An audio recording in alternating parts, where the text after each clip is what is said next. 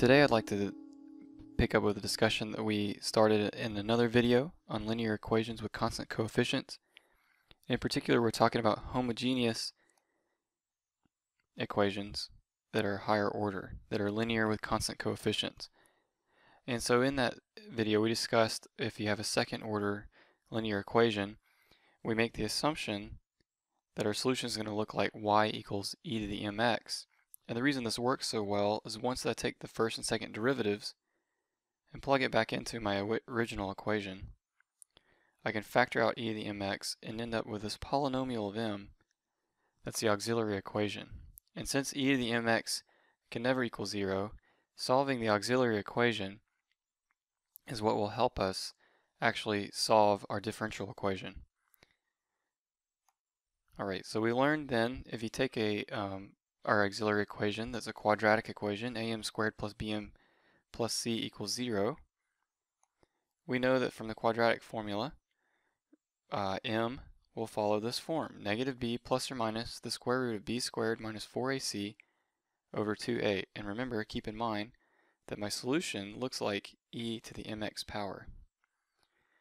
So in the previous discussion, we covered cases 1 and 2. So in this video, I'd like to cover the case 3, where I have complex conjugate roots. So in other words, when I uh, solve my auxiliary equation, b squared minus 4ac, the discriminant here is negative. So I end up with complex conjugate roots. And so m equals alpha plus or minus beta i. What do you do in that situation? So in that situation, let's suppose m1 equals alpha plus beta i and m2 equals alpha minus beta i, then my general solution of my equation is e to the c1 e plus beta i x power plus c2 e to the alpha minus beta i x power. Alright, now we don't like this because we don't want the beta i's as exponents, right? We want real values. So we're going to make use of this wonderful equation. e to the i theta is actually cosine theta plus i sine theta.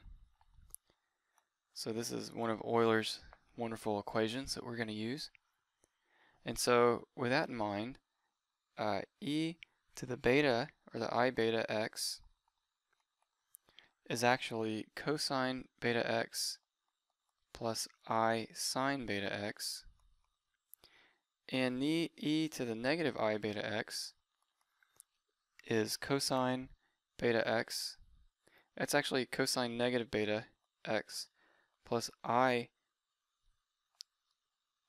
sine, let me see if I can write this right, sine of negative beta x. And from the negative angle identities of trigonometry, cosine of a negative angle is the same as cosine, in this case, beta x. And for sine, it's minus i sine beta x. Okay, now the reason this is helpful is because I can I can find particular instances of um, my general solution that will actually help me through these formulas reduce uh, to, to get a different version of our general solution that only deals with real numbers. So what I mean is, let's let uh, C1 and C2 both be 1.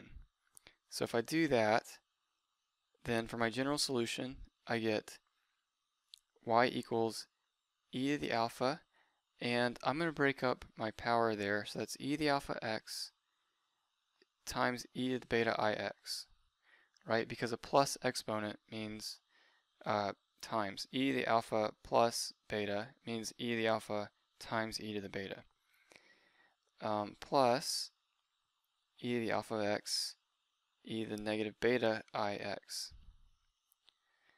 Now, if I let if I let C1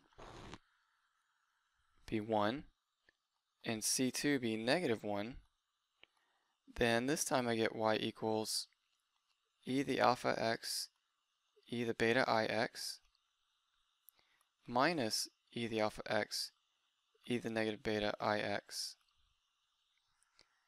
Okay, so the reason this is useful is that um, in my first equation, I can take out an e to the alpha x, and I'm left with e to the beta ix plus e to the negative beta ix.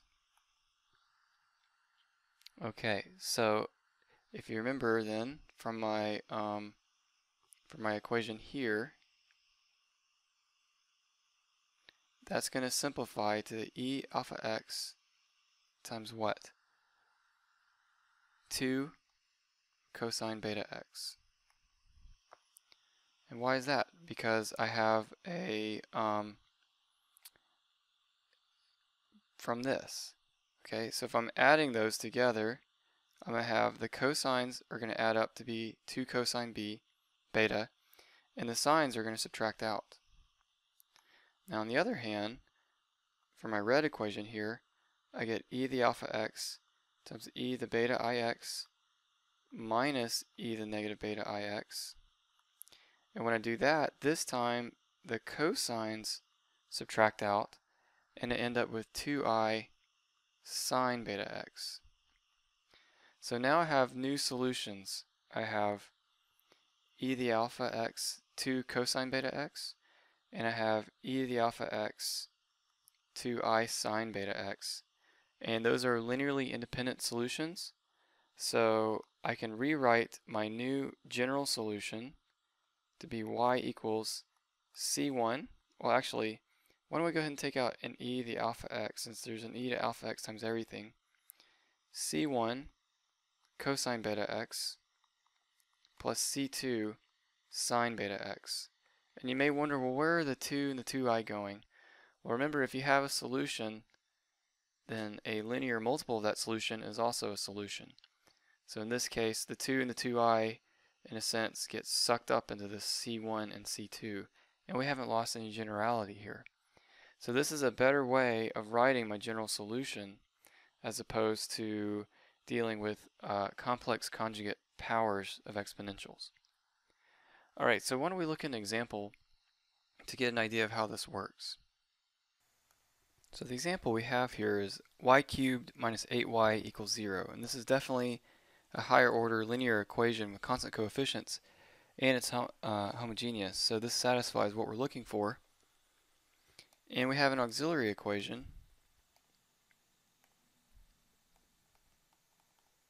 that's m cubed minus 8 equals 0. Alright, so you might have to go dig back through some of your algebra to figure this out, but the difference of cubes, so I'll write the general a cubed minus b, b cubed here, factors as a minus b, a squared plus ab plus b squared.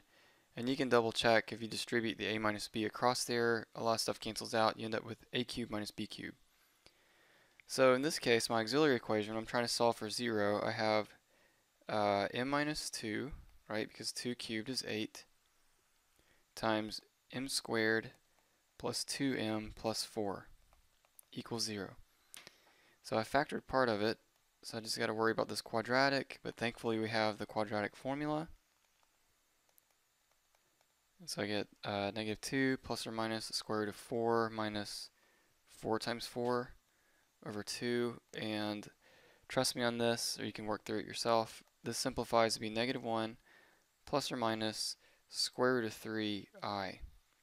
So there are my complex conjugates, and so it's worth noting alpha here is negative 1 and beta is root 3. So then my general solution to this equation, and the fascinating thing about this is we've done the hard part. So first it's c1 e to the uh, to the 2x power and that comes from this root. I have m equals 2. That's a distinct real root. That's my case 1, so it's not a big deal. And for the rest of it, I have, um, we factor out the e to the alpha, so here's e to the negative x times c2 cosine beta, which is root 3, x, let me try to write that a little clearer, root 3, and make sure your x is outside the square root, plus c3 sine root 3x. And there it is. There's my general solution. So if you can factor polynomials, these, these equations are not very difficult. Um, you might have to review some of your algebra to make sure you're doing this correctly. And if you have any questions, please let me know. I hope this is helpful, and that's the reason I'm doing this, is just to help explain how some of these differential equations work. And I appreciate you listening. Thank you.